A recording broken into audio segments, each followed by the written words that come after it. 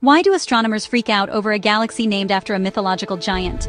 Meet Alcyoneus, whose size will absolutely blow your mind. Let's see just how big the universe can get.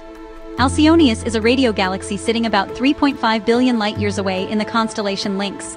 It's named after a giant from Greek mythology, and honestly, it lives up to the title. Its radio-emitting plumes stretch an insane 16 million light-years across. That's over 160 times the size of our entire Milky Way.